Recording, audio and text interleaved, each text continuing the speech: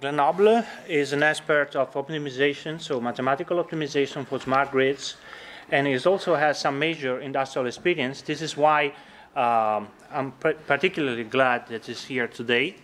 So I asked him, it is going to be tough. It's going to be difficult because time is limited. We originally planned for six hours, right?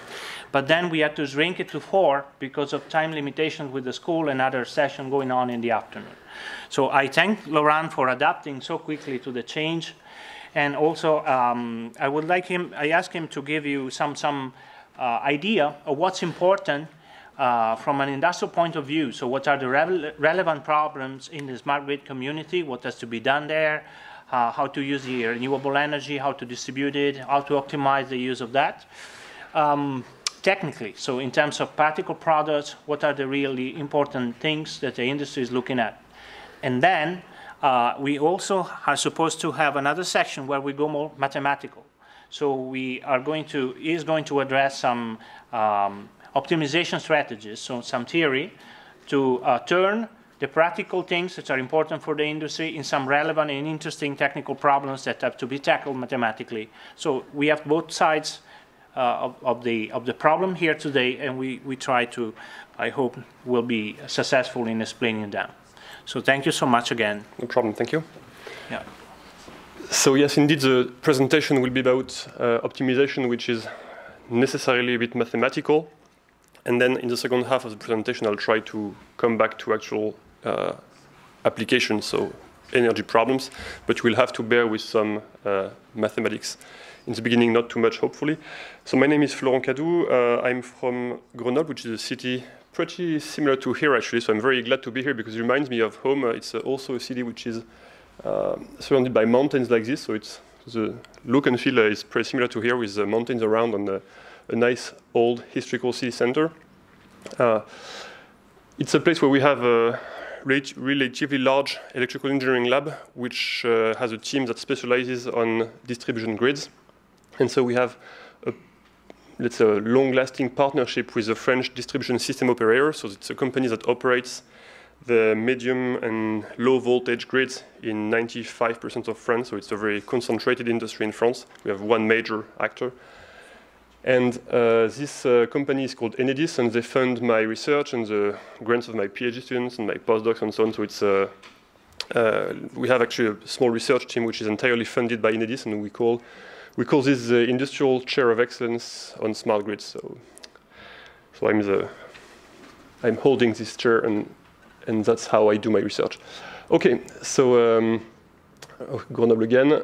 Now about the introduction. So what I want to do is uh, is twofold, really. So one thing is to introduce to you numerical optimization. I'm not sure if you've been taught this before. Actually, I could do a little uh, survey. How many of you have, let's say, taken at least one class of numerical optimization? Can you raise your hand? Okay, that's quite a lot of people, actually. So uh, maybe you won't. So maybe half the audience will uh, not learn too many new things as far as theory is concerned.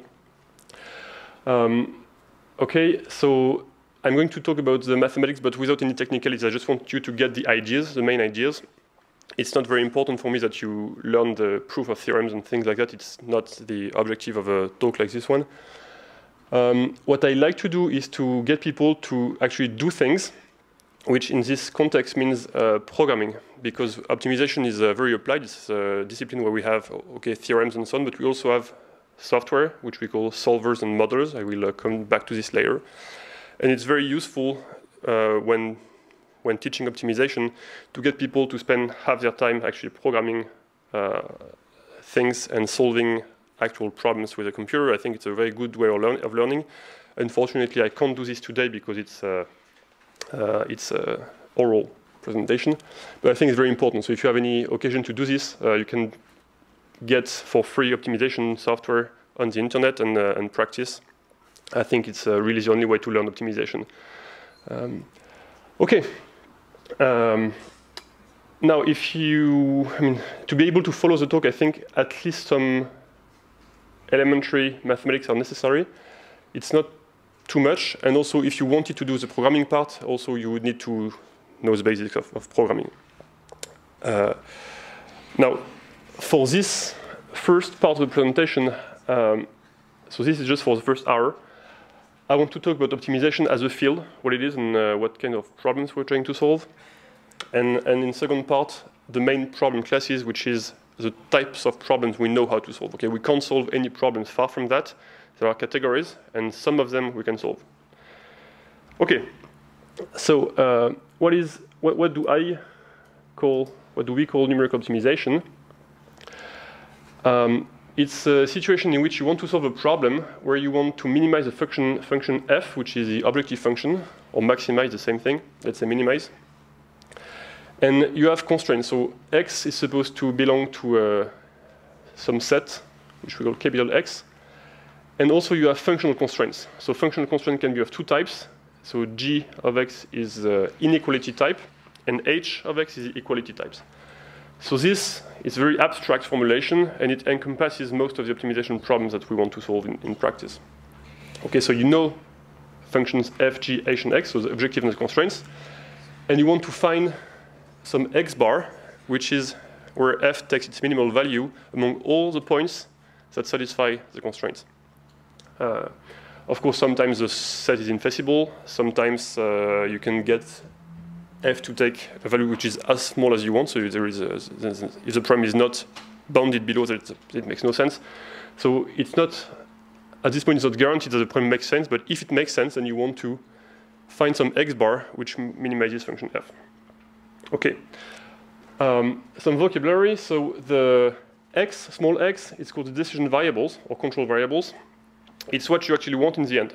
So if you have a practical problem, what you want to do is to find the value of x, because in practice it means uh, something like, okay, x, if x1 has a value of 2, it could mean that you want to buy new, uh, two new machines or something like that. So x is what you want to implement in the real life in the end. Okay, if we if you consider a problem which is a unit commitment and dispatch problem, which is a power engineering problem, which I wanted to present, but I will skip that because it's uh, I don't have enough time.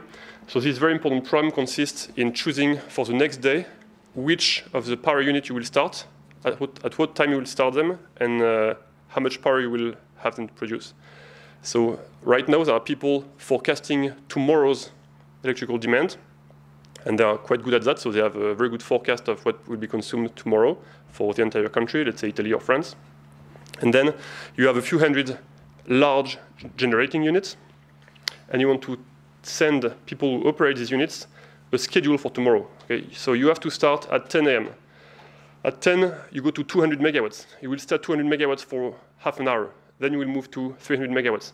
That's the schedule. Okay, and when you uh, try to determine the schedule for all the units, what you want to do is two things. It's to minimize your cost overall. So if you, you want to use your uh, units with a low marginal cost as, as much as possible. And the second thing you want to do is to meet the demand. So you take this load curve, which people are forecasting for you, and you try to find a way of starting this unit, but not this one, and then this one, and so on and so on. And when you sum up all the schedules of all the power units, it has to meet the demand, no more, no less. Okay? So in this case, decision variables are um, things that tell you when to start the units, which to start, what time, and so on. So this is x, small x, decision variable. That's what you want in the end. Okay. The objective function, which you want to minimize, is typically a cost, but not always. You could want to maximize or minimize something else, but in practice, it's uh, very often uh, f is usually money some, somehow. Um, the constraints I mentioned before, it's uh, g and h. At the feasible, feasible point is a point which meets the constraints. Feasible set is a set of all feasible points. Um, an optimal point is a solution, so it's uh, some x bar that uh, satisfies all the, everything I, I, wrote here. And, and one last uh, word of vocabulary. So I call this numerical optimization, but really some people call it decision support or operation research. It's more or less the same. It's just all synonyms. Okay. So uh, let's move from equations to uh, picture. So basically, let's say you have, oh, here, here you have no equality constraint, just two inequality constraints. So it's G1 and G2. So uh, G1 tells you that you want to be on this side of this curve. Okay, you don't want to be there, you want to be there. And G2 tells you that you want on this side of this curve, not here. So the feasible set is this one. And then you have uh, function f. So function f is minimal. Okay, I'm not tall enough. I'm tall, but not enough.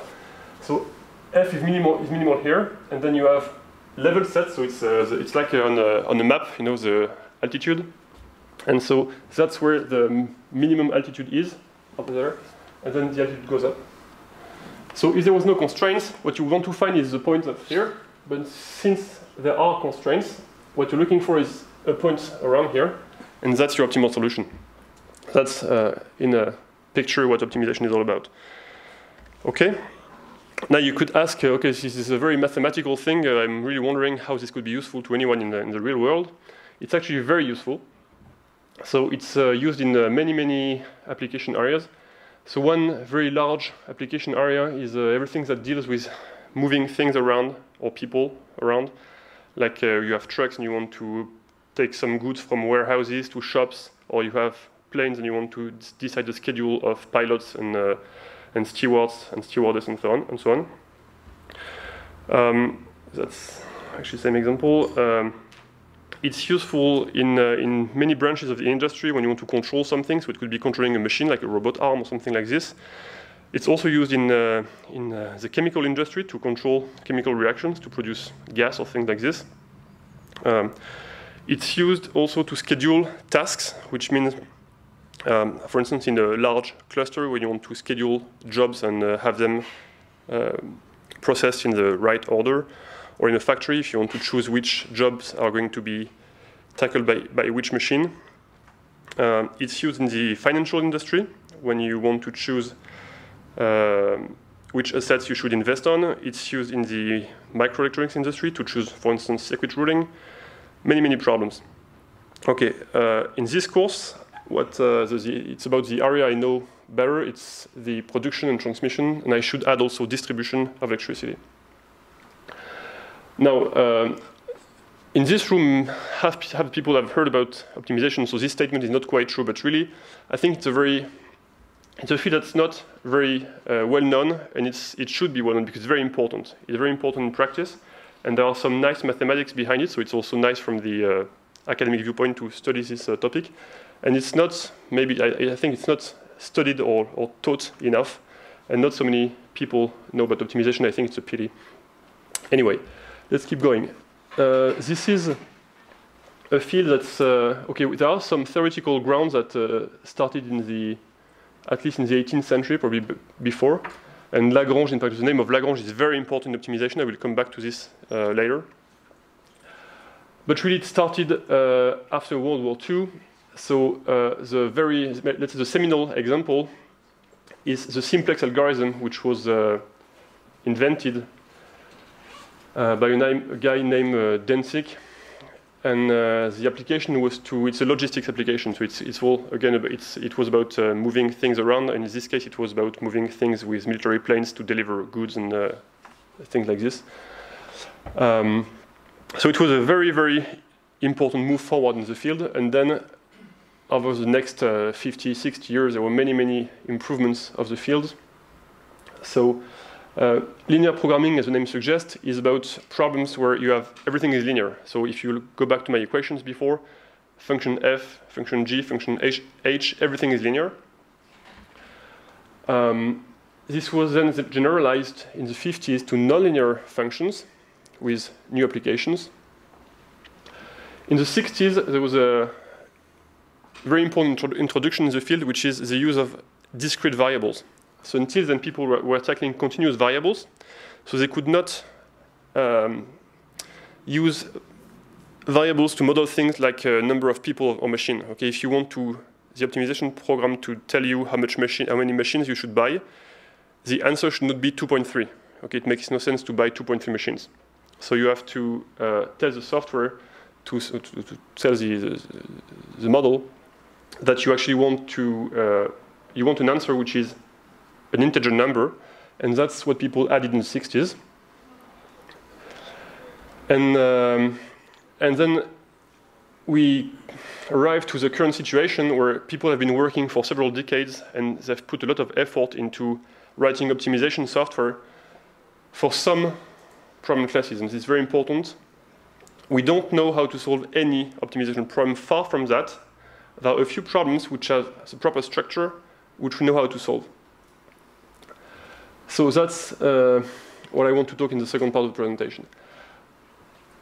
Now, uh, let me advertise a bit the field of optimization by telling you why it's uh, such a good idea to use it.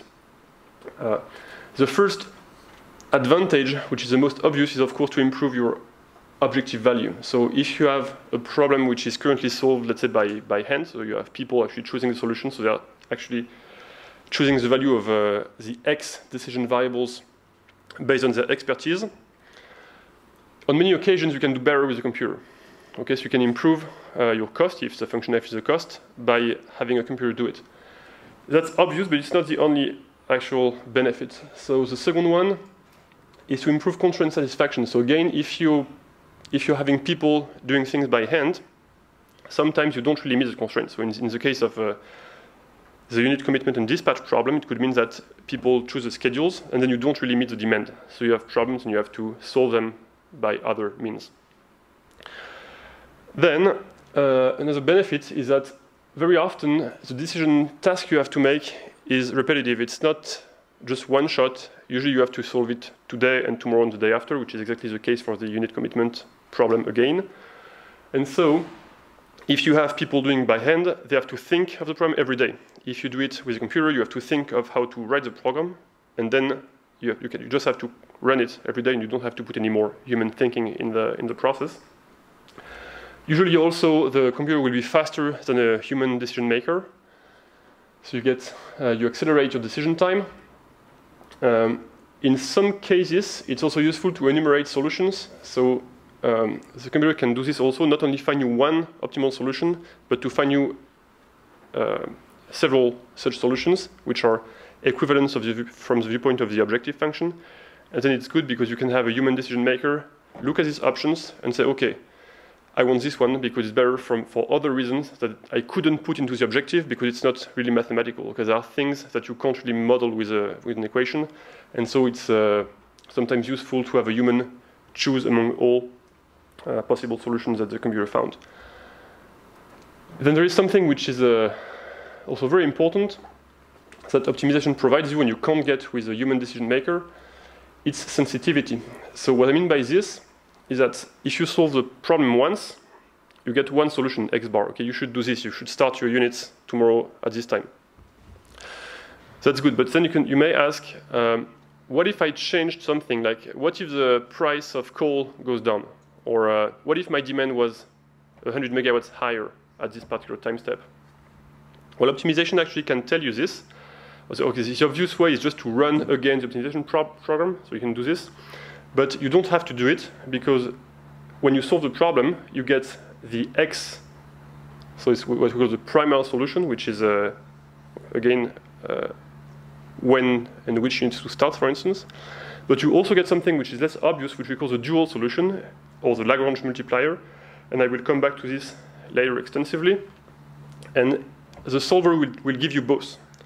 And what the Lagrange multiplier is telling you really is this sensitivity information. So it tells you how the objective would change if you change a model parameter. So it's very important because it, it, uh, it helps you make decision also not just about your current optimization problem, but also how the solution would change if you change the parameter of the problem. Okay, uh, so anyway, it's a useful exercise also to model something mathematically. And there are actually very few drawbacks of doing so, so uh, I would advise anyone who has a decision-making problem where things can be reasonably modeled with equations to try to use optimization. It's a very useful exercise. Okay, so I've uh, introduced to you the unit commitment problem uh, like a bit, a bit uh, simply like this. Let's go back to a very, very simple problem, a uh, completely ridiculous pro problem, but it's a toy example. So we have a, let's assume we have a factory, and the factory has two machines, which you call A and B, and you can use them at most nine hours a day. And you're also making two kinds of products, which we call X and Y. If you make one X item, it takes you one hour of machine A and three hours on machine B. So you can machine things in any order, A, or A then B or B then A, no problem. For Y, it's the opposite. So Y it takes one hour of machine B and three hours of machine A. And you have different prices. So when you sell these things, X and Y, out of your factory, you get two euros for each X item and three euros for each Y item. So um, it's a very simple problem. How could we solve this uh, without any solver? Well, we could do it. So the question, of course, is how many products of each kind you want to make. So um, the answer to this problem is something like, okay, I want to make maybe a 10x item. Or yeah, you, you can't do this because 10x items will take 30 hours on machine uh, B, and that's too much because you have only nine hours. Okay, so let's make five X item, items. So you can choose like this, and since it's a very simple problem, um, you can actually solve it by exhaustive search, which means you will try all the combinations. So I've done this in a table. So the first, uh, first column is how many, uh, so okay, how many, how many hours of machine A is used, how many hours of machine B is used, and how many you make. So for instance, in the top left corner, you're not making any x, x equals 0, you're not making any y product, so you're not doing anything, and you're not using any time of machine A, B, and the profit is 0, very simple. If you move to the upper column here, you're making one x item and 0 y item, so it takes you 3 hours on machine A, 2 hours on machine B, um, third machine B, and your profit is, uh, is 2, and so on and so forth. So you, what you can see is that in some cases, you're making too much. So in this case here, for instance, you'd like to make one X item and three Y item. It doesn't work because you're going to use 10 hours in machine A, and you don't have 10 hours, you just have 9.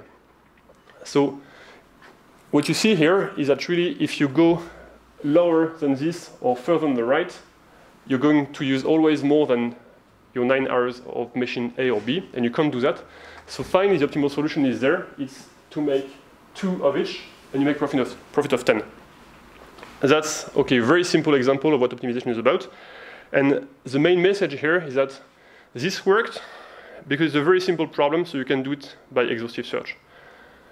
In practice, you have to use a computer, and the computer will do something like this. It's not going to do an exhaustive search, it's going to take the problem let's say from a graphical viewpoint, which is like this. So this is on this axis how many x item you're making, and this on this axis how many y item you're making, and constraints. And the constraints are like this. It's a it's a, a linear constraint. So your two constraints are telling you where you can choose uh, your uh, feasible points. So they have to be here. And then your objective function is this. Objective function has level sets which here are like this because it's a linear objective function. So if I go back to my, very quickly, my previous, previous example, sorry about that. Here's the level sets of the objective function where uh, they had no particular shape. It was the same thing for the constraint because it was an abstract problem. But if you go to a linear problem, which is the one I had, uh, I was showing there, since it's linear, the constraints make linear um, half planes, and the objective is also linear. So what you want to do really is to find, to, to move your straight line like this, and if it's like there, it's not good. Okay, all the points here have the same value. All the points here have the same value, but it's higher than before, and so on. So you want to go like this and find the last point, which is on this straight line, and it's that point here. So this is a graphical way of finding uh, the solution, which again is uh, making two x items and two y items. And that's what uh, computers do. And the way to tell computers how to do this is to use um, a modeling language. So the part of the software that will solve the problem, it's called the solver. The solver needs things like constraints, like x plus 3y lower than 9, and so on and so forth, which is not, uh, let's say, uh, it's not very convenient for a human being to write these things. So the solver takes these equations and finds, you, finds for you the optimal x solution. And how to generate these constraints is done by, um, by another piece of software which we call the modeler. And this is an example using the AMPL language or other languages. So what you do is you write a software like this, a piece of uh, code like this, where you model your uh, constraints, and then the solver will, will uh, output something like this. So I found, the, I found a solution, and your profit will be 10, 10 euros. Okay, so um, that's really what people do when they use optimization. They use a modeling language usually, and they put the they ask a solver to find the to find a solution. Now there are a few caveats with this, and the main one is that if you just if you didn't take if you didn't pay attention enough attention in the optimization class, you will likely write equations in your programming language like this, which cannot be solved. Why? Because solvers are very specific tools which can solve very specific classes of problems. And so uh, you need to learn which classes of problems can be solved in order to actually use these, these modeling and solving tools effectively. So it's very important to identify which optimization problem classes are known to be solvable. Okay, and there are different solvers for each class of problems. That's a very important skill when you're dealing with optimization. Um, then what would be useful, but uh, I don't have time for this, is to teach you how to use, to actually model yourself optimization problems, and that's where, that's where it will be useful to actually program yourself some AMPL code, for instance, or other, uh, any other language. And uh, also, of course, you need to be able to, to, to understand what the, the, the, solver is telling you. For, for instance, in this case, it told you that it found the optimal solution. That's pretty easy that the objective is 10, so your profit will be 10. And then it tells you other things, which at this point probably are not very uh, clear to you, and it's important to have notions of how solvers work in order to be able to interpret this additional information here. So that's basically the, the objectives of uh, an optimization class. And in this case, we are more concerned about the last point here, which is to apply these tools to solve power, power grid problems. Okay, so let's move to the second part of this first uh, hour, which is the main problem classes that we know how to solve. Okay, so the most important notion in optimization is convexity.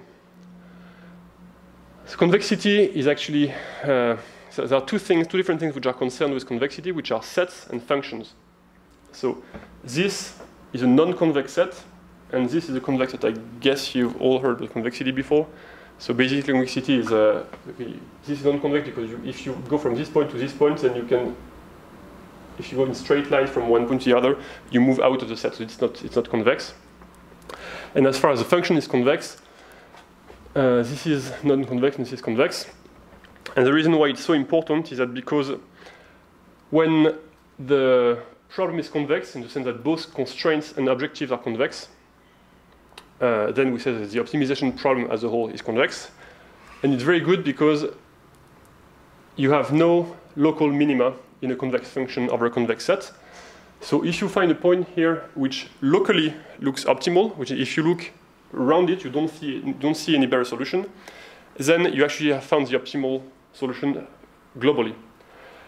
And if the function is non-convex, then there might be local minima, which means that if you're here and you look around you in a local neighborhood, and you don't see any better point than the current one you have, it doesn't mean that you are actually, you have found the, the optimal solution. It, there could be a much better solution elsewhere like this. So basically that's the reason uh, why people are so much concerned about convexity in the field of optimization. Then there is another thing which is very important, which I uh, talked a bit about before already, which is the difference between continuous and discrete optimization. So if you remember, remember about the history of the field, people started with problems where all variables, all decision variables were continuous. And then in the 60s, they started dealing with variables which are integer, which allowed them to model things such as the number of machines or people, which you can't really split in, in, uh, in fractional part. Um, so basically, if everything is continuous, you have a continuous problem, and if you have a mixture of discrete and continuous variables, then it's what we call combinatorial, which means you have at least some um, discrete variables. Maybe not, of, maybe not all of them are discrete, but there are at least some discrete variables, and it's going to be much worse because there will be some uh, uh, combinatorial in the problem. It's very relevant to distinguish be between these two problem classes for at least four reasons. The first is that solving does not mean the same thing in both cases. So if you solve a continuous problems, problem, it means that you use an iterative uh, algorithm which will get closer and closer to a solution. At some point you will stop, but you won't really have found a solution. You have found a point which is good enough. And the actual solution is something that's a mathematical object that you can't reach in practice. In a purely discrete problem, since it's combinatorial, you can actually find the solution because everything is discrete. So you can converge in a finite number of steps to the solution. So solving is really, the, the term solving means something completely different in both cases. Accordingly, the solving algorithms are very different. So the logic of a continuous solver is not the same as a discrete solver.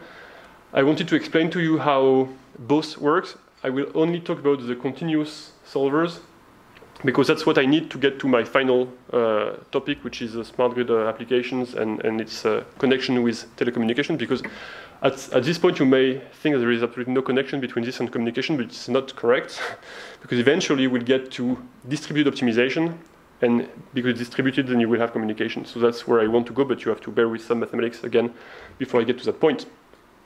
Okay, so in this final application, it will be a continu continuous problem, and so I will explain to you later how continuous optimization solver work, and I will skip the part about how discrete solver work, but trust me, it's very different. Now, the last part is tricky. So having um, some discrete variables makes the problem very difficult because there can be a huge number of solutions. If you think of a problem with, with just binary variable, and you have just 100 variables, which is quite small by, uh, I mean, in optimization problems, the number of variables grows very quickly. When you want to model something in the real world, you have hundreds of uh, time steps and hundreds of uh, trucks and hundreds of this and that, and you easily end up with tens or thousands, uh, hundreds of thousands of variables, sometimes millions of variables. So a problem with uh, just 100 variables is really, really tiny. But even if it's just 100 variables, and they're all binary, then you have 2 to the power 100 solutions. So, um, not solutions, but uh, uh, uh, points. Which means that if you wanted to apply the exhaustive search, which I showed in the beginning for my factory problem, it would take you forever. Okay, so this means that at first sight, when you see uh, at first sight when you see a combinatorial problem, it looks impossible to solve it. But because we have all these tricks in the combinatorial algorithms, we can actually solve, very often solve in practice these, problem, these problems which at first, at first sight seem impossible to solve given the number of, uh, of feasible points. So anyway, the message is that in this case, uh, combinatorial problems seem much more difficult than continuous problems. But on the other hand, what's nice about combinatorial problems is that okay, they are non-convex. Okay, if, if you consider if the constraint that you want only integer points, like this, this being in this set is obviously a non-convex constraint. Okay, because if you take this point and this point and draw a straight line from one to the other, you get outside of the set. So this set is non-convex, but it's very structured. So the nice thing about combinatorial optimization is that it allows us to tackle non-convex problems in which the non-convexity is under control, which means that to some extent, non-convex problems are not necessarily hopeless. You can solve them in some cases if you manage to cast the non-convexity as a form of, of uh, an integer constraint. Okay, so these problems are very difficult at first sight, but they are very expressive. You can express many, many things with them, including non-convexity, which you cannot do with uh, continuous uh, optimization. Okay, uh, now which problem classes can we actually solve? The first one, I talked about it before, it's linear programming. It's the first one that was invented by uh, Dantzig, by George Dantzig in the uh, late 40s. If you look at it with equations, it's like this. So it's our abstract optimization problem in which everything is linear, which means that instead of minimizing f of x, where f is just a function, you're minimizing a linear function, which is the dot product of some constant vector c and x. And similarly, what used to be uh, h of x equals 0, which was a general abstract equality constraint, now we have a linear equality constraint, so some matrix c times x is equal to some given vector g. Same thing for inequality constraints, and x belongs to Rn, which basically can take any value. Okay, so that's linear programming in equations. If you look at it from the graphical viewpoint, it's what I showed before with my factory problem. So all the linear constraints create a polyhedron like this. So the feasible set is always a polyhedron like this. And the objective is linear, which means that, that the level sets are straight lines.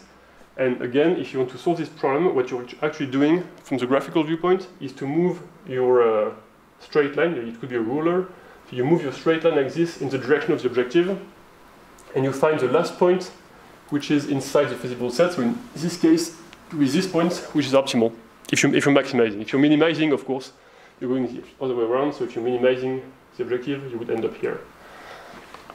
That's linear programming, and again, it's uh, simplest case optimization, which also means that it's the one we know how to solve. Uh, it's, it's the one we know how to solve best.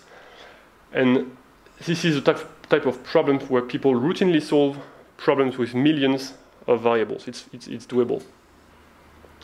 So you can, you can, really go to huge problems with, uh, with this uh, simple linear programming framework.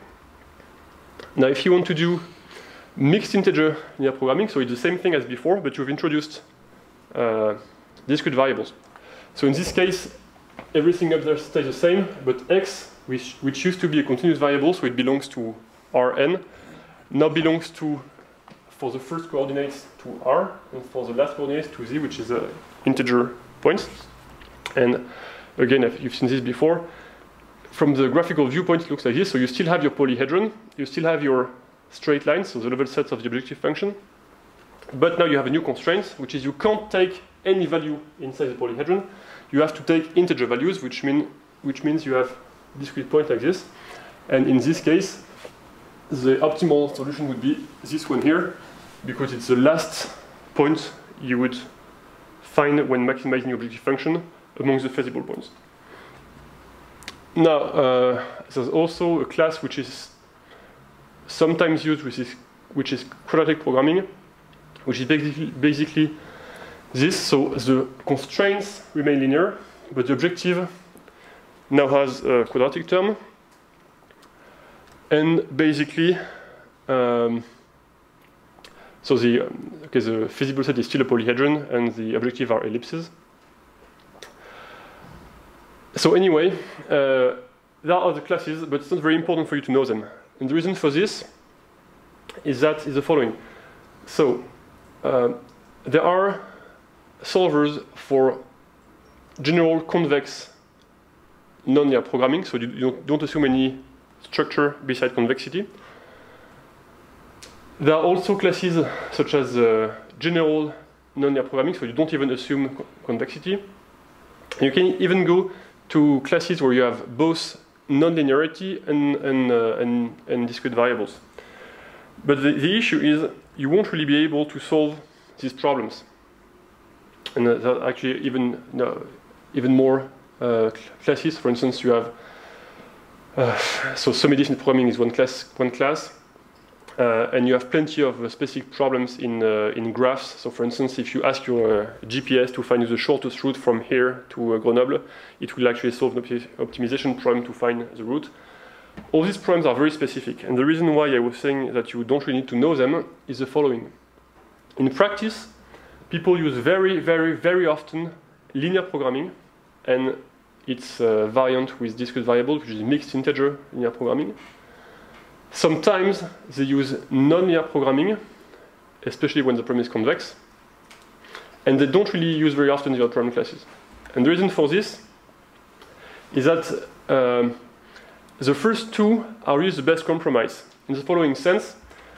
So if you're considering a very general problem class like mixed integer, nonlinear, non-convex programming, which is basically any problem, you won't be able to solve the problem. There will be no solver that actually yields the solution when you click on run. And on the other hand, there are problem classes, such as the one that's solved by the GPS to find the shortest route from here to Grenoble, which really are used only in a very specific case, and you are very unlikely to run into this case in your actual research.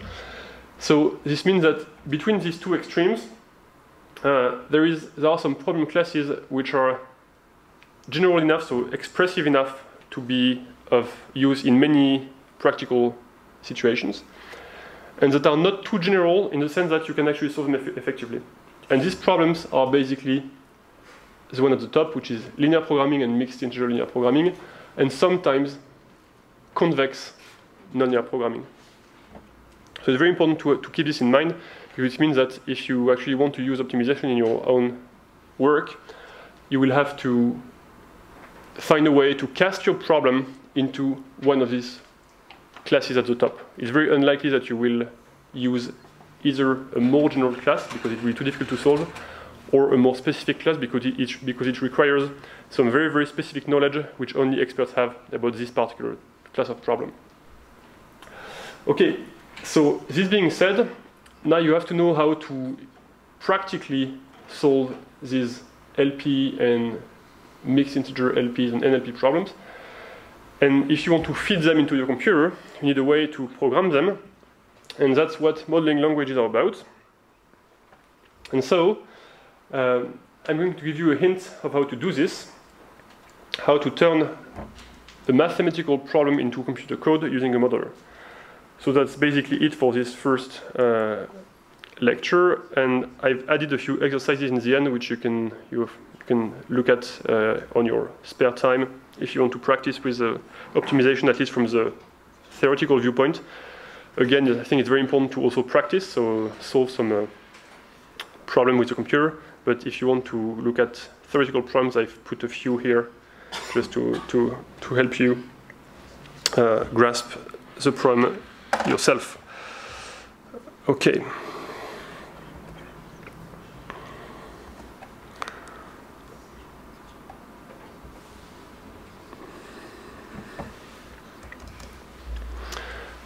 So now, again, we're going to talk about the um, practice of putting your optimization problem into a computer. And that's what modeling languages and, and modeling software is all about. So again, you have to distinguish between two software layers, which is solving, so taking the equations and finding the optimal decision variables, and modeling, which is turning the problem from an expression of the problem in human language, not, not human, but uh, let's say human understandable language, into matrices and uh, numerical information that the solver will use as an input.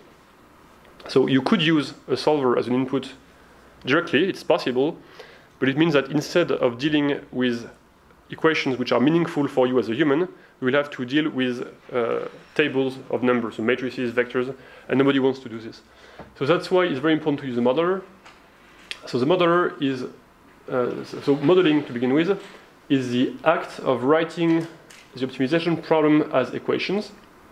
So which means you have to identify all the elements of the, uh, the equations, the abstract equation I showed you in the beginning, which is function f, the objective, uh, function f, sorry, x, so the uh, decision variables, and all the formulas, the mathematical equations that define the constraints. That's modeling. And a modeling language, it's a programming language which is uh, designed to allow human readable and concise representation of an optimization problem. So I think I've, I've insisted already on the human readable part.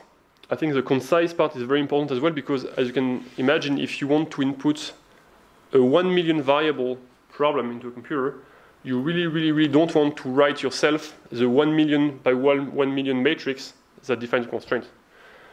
So it means that you need to express your uh, problem in some concise way, and then maybe a few uh, tens or hundreds of lines of code, and then the modeling long, so the, the modeler will transform this into a huge matrix that will be used by the solver.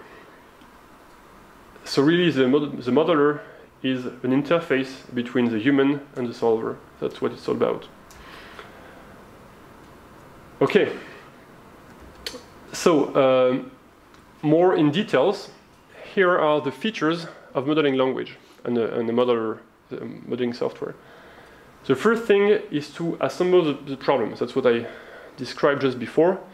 It's to put the data in some form, standard form, that will be understood by the solver, which in the case of linear programming, which is the simplest case, means you have to build the matrix and the vectors of the problem. So if you remember what I, when I showed the equations of a linear program, you have one vector which is the, for the objective. So objective is some constant vector c dot product x. You need to provide the vector c. The inequality constraints are a times x lower than b. So a is a huge matrix, b is a vector. You have to build all this, all those, uh, all this data. That's what assembling is about. Now there is a second thing which is a bit trickier, and which is only useful in nonlinear programming, which is to compute the derivatives of con ob objective con constraints. So what I mean by this is that when we will go about how optimization solver work for continuous problems, you will see that it's very important that they are able to compute the gradients of objective and constraints at the current iterate. And uh, that's what the modeling software does. So it's something very useful as well for nonlinear programming. Of course, as far as linear problems are concerned, you don't need to, to compute any constraints because the constraint, the gradient, sorry, because the gradient of a linear function is trivial. And then the third point is about preprocessing. So it's uh, basically about modifying the model with simple rules to make it simpler. So that, that's very simple, but it's useful as well. So in practice, you may introduce constraints such as such as x. So, so x1, so first decision variable, should be uh, I don't know larger than three, and also uh, smaller than zero. So there is no solution, and this can be detected very early in the process. So you don't need to go all along the solving process. You can detect this very early. And that's basically what the pre-processing is about. It's about finding, finding simple ways to reduce the problems or declaring it, declaring it infeasible uh, before solving the actual solving phase. So, assembling, I think I've uh, uh, talked about this enough. Um, I think the only thing I should add is that assembling is so important that you really, really, want your solver to be able to be called from a modeling language. And actually, um, if you don't do it, so if you have a solver which cannot be solved from, from a modeling language, you have to do all the assembling by hand, and also to compute derivatives by hand, which is uh, my next topic. And it's very painful. So you should avoid this whenever you can, and basically this is directed towards one uh, enemy, which is MATLAB, because if you are using the optimization toolbox of MATLAB, then you have to do this all by hand. By hand. Okay, MATLAB, the optimization toolbox, toolbox of MATLAB cannot be called from a modeling language, which means that from the viewpoint of uh, optimization practitioners, it's basically useless. Of course, in some cases, it can be useful to use uh, the optimization toolbox of MATLAB because you have some other software which is uh, in MATLAB and you want to plug the two easily and so on and so forth. So, okay, if you're prototyping a big project where you have a little bit of optimization and a little bit of um, something else and this something else is already written in MATLAB, I guess it makes sense to use this toolbox. But really, if you just want, if you just want to tackle an optimization problem, probably it's not such a good idea to do, it, to do it with MATLAB because you will have to do all the modeling part by hand and it's going to be very, very painful. Okay. Second topic is differentiation. So as I said, when you're tackling a nonlinear program, you need in, in the in the iterates of the continuous uh, optimization algorithm, you will need to evaluate the gradient of the objective and constraints. Now, uh, there are various ways to do this. I guess you know the first two, which are the most well-known, but actually people are using the third. So the first one, symbolic differentiation, is just you take your equations and you derive everything by hand, and you get a new formula for the derivative, which is usually much bigger than the previous one. And then you evaluate this. So that's symbolic differentiation. You can also do it not by hand, but using some uh, software like uh, Maple or Mathematica, which are good at doing uh, symbolic calculations. But this is a very, uh, I mean, it, it, it's not practical when you have a large problem because the expression of your gradients will be absolutely huge. So it's, it's not possible to evaluate a gradient like this. Then you have the finite differences, which I guess you also know, which is basically you evaluate your function there and just and then just next to it, so you have f f at the point x and x plus epsilon, and then you make a difference and you divide by epsilon, and then you get something which more or less like the gradient. So this is not a very good solution either, because first of all, it's approximate. So in the beginning of the optimization process, maybe it's not a big deal because you're far from the objective and uh, having a gradient which is slightly wrong is not a problem. But when you want to find an accurate solution in the end of the optimization process, you really, really, really need a good gradient, so approximations are not good. And the second problem is that it's also very costly because if you want to do this for a function in 1D, you just have to evaluate, you just have to evaluate it twice. Okay, you evaluate function f here and there, make a difference and divide. But if your function f has dimension n, then you have to evaluate here and here and here for the second dimension and here for the third dimension and so on and so forth, which means that, which means that you have to evaluate it n plus 1 times, where n is a dimension. And um, if n is big and if your function is costly to evaluate, it's a, a very non-efficient process. So the way modelers actually differentiate um, functions is called automatic differentiations. It's a very powerful tool and it's a bit difficult to explain, so I've uh, an exercise at the end of this lecture which, which explains how to do it. But if I, just, if I can just give you a hint of how it works, the idea basically is to go through all the process of evaluating function f, or g or h, whatever, and every time there is a line of code that does something, you add a second line of code that does the differentiated version of, version of it. So basically, you just double your code, which is not too expensive. It's just uh, I mean, just just doubled. And in the end, the code that you had that was evaluating function f now evaluate, evaluates f and its gradient. And that's the efficient way of doing uh, differentiation. It's very important. I think it's a very useful tool to know. Uh, it's very, very important. So when you're using optimization, you don't really know to you don't really need to know this because the modeler is a black box. It will do it all for you. But I think it's important to know this topic both because it will help you understand what the modeler does, and also it can be useful in other situations when you, when you actually want to use automatic differentiation yourself. Um, pre-processing, the last of my third, my, my, the last of my three topics about what modelers do. So again, it's about simplifying the user's model. So, for instance, if a variable has a constraint such as it should be larger than 2 and also lower than 2, then its value is 2. Okay, you can remove it. It's, it's trivial, but if you do this at a large scale on a large problem, you will, in some cases, you will significantly reduce it, and the solver will see a prime which is smaller than you, th than you thought. So everything that can be done beforehand, before feeding the solver with a large problem is useful. Uh, in some cases, you can improve uh, bounds by uh, using simple rules. You can also eliminate inequality, so it's basically uh, same thing as first point. First point is about reducing the size of the problem by elim eliminating variables whose value is trivially fixed.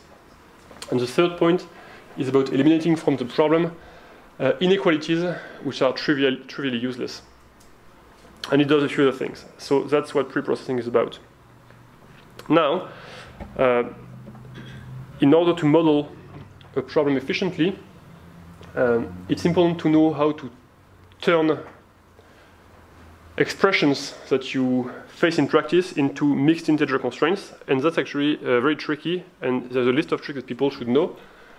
Um, I'm not going to explain you all of these tricks because there are many of them, but um, and actually so, sometimes are really, really tricky. I mean, in the unit commitment problem, for instance, that I intended to show in the beginning, there are some constraints. I mean, when you look at them, there is no way you can guess what they are doing, and actually they are implementing something such as a minimum downtime. So if you turn down a unit, you have to let it uh, rest for maybe three hours before starting it up again. Ex expressing this constraint in terms of mixed integer equations is really tricky, and, and that's where a lot of the skills of the optimization experts uh, lies. It's within their ability to express as mixed integer linear equations uh, some tricky constraints. So I'm not going to explain again all of these tricks, but I need you to know that they exist.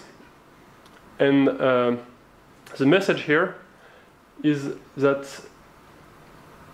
okay, you need to find out in your problem which equations can be cast into mixed integer uh, formulas. If you want to put everything in a problem, all the physics, so you look at a problem from a purely engineering perspective and not from an optimization perspective, it would be very tempting to put a lot of uh, details, physical details, and you will end up with something which is horribly complex. So again, it could be uh, nonlinear and non-convex and mixed integer. So you put all the difficulties at once. So as an engineer, you're very happy because you've put a lot of physics in the problem. But from the optimization perspective, you did a bad job because you won't be able to do anything with your formulation. So the message here is that the goal when using optimization is really never to put all the effort into the quality of the modeling. It's to find a compromise, compromise between the quality of modeling from the engineering viewpoint and from the feasibility of solving the problem practically, which means, again, to the ability to cast your problem into uh, uh, solvable problem class. And what I mean by solvable problem class really means most of the time linear or mixed integer linear programming, or sometimes convex nonlinear programming. Okay? So that's basically what I said before. So the modeling is really a compromise between the accuracy of a model and your ability to use it in the calculations.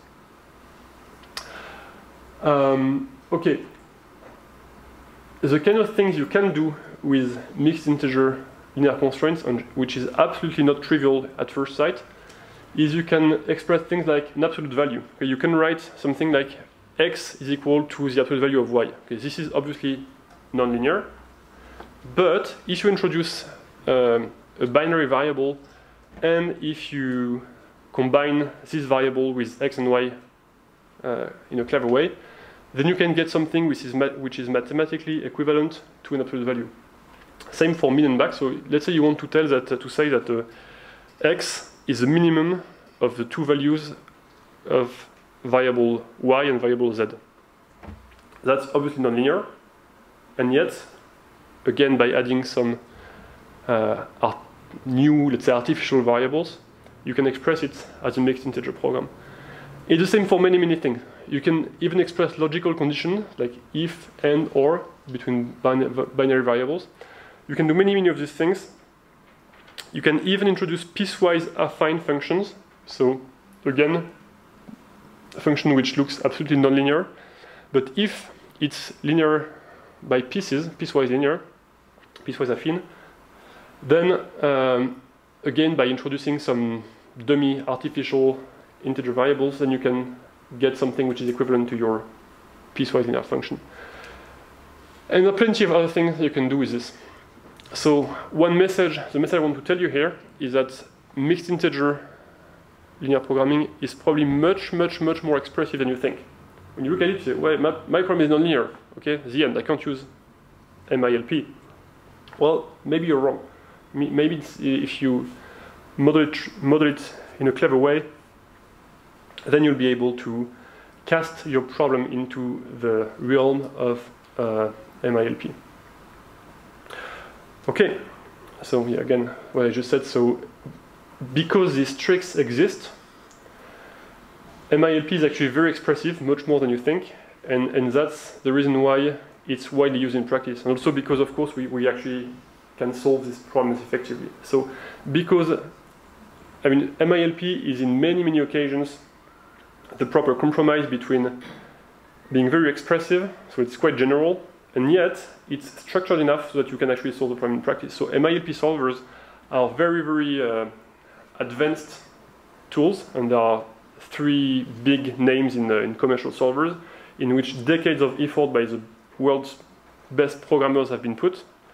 And because of this, these three solvers and some others are really, really efficient tools, thanks to which you can, use, you can uh, solve huge problems in the MILP class. So when you look at this, so the expressivity and also the, the, efficient, the efficiency of solvers, uh, you get to the conclusion that in many, many cases that's the kind of uh, solver you want to, to use, and also to the conclusion that you should try to cast your problem into an MILP whenever possible. Okay, um, I will skip this part just to uh, because it's uh, it's about the AMPL language, or the language that one of the languages that you can use to actually implement a problem in practice. It would be important if we had some uh, hands-on class, but since it's not the case, I don't think it's very useful that I, I give you information about this particular language. So I'll stay at the theoretical level and skip that part. Okay, and that's one hour. So do you, are we still going or? I, I, I'm not tired yet, but maybe you are. Maybe we can have a break now and then continue, then another break. Okay, so let's take two breaks. So one now and one. Yeah. Okay, two short break instead of one long break. Okay, so uh, let's take uh, maybe 10 minutes or. Okay? Yeah. So let's get back here in 10 minutes.